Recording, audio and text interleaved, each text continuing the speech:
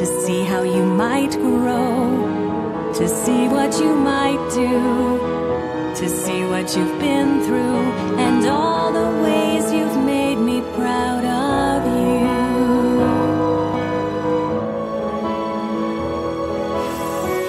It's time now for a new change to come.